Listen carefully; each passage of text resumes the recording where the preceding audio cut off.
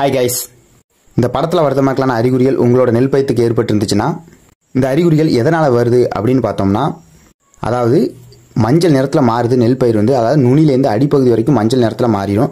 இது எதுக்காண்டி வருது அப்படிங்கிறத நம்ம பார்த்தோம்னா பச்சை தத்து பூச்சிகள் அப்படின்னு சொல்லக்கூடிய பூச்சிகள் வந்து இந்த சேத்தை ஏற்படுத்தும். நெல் பயிரோட சாறுகளை உறிஞ்சு வாழக்கூடியது தான் இந்த பூச்சிகள். இந்த பூச்சிகளை நீங்கள் படத்தில் பார்த்தாலே உங்களுக்கே தெரிஞ்சிருக்கும் எப்படி இருக்குது அப்படிங்கிறத. இது வந்து முதிர்ந்த பூச்சிகள் அப்படின்னு நம்ம சொல்லலாம். இந்த நெல் பயிரத்தில் வரத மாதிரிலான அறிகுறிகள் அதாவது மஞ்சள் நிறத்தில் நெல் பயிர் மாறி இந்த பூச்சிகளும் உங்கள் வயலில் தென்பட்டுச்சுன்னா இதை தான் பச்சை தத்து பூச்சிகளோட தாக்கம் அப்படின்னு நம்ம சொல்லலாம். இந்த பூச்சிகளை எப்படிலாம் கட்டுப்படுத்தலாம் அப்படின்னு பார்த்தோம்னா மூன்று முறையில் கட்டுப்படுத்தலாம். ஒன்று வந்து உளவியல் முறை ரெண்டாவது பார்த்தோம்னா ரசாயன முறை மூன்றாவது பார்த்தோம்னா உயிரியல் முறை. இந்த மூன்று முறைகளையும் நம்ம கட்டுப்படுத்தலாம்.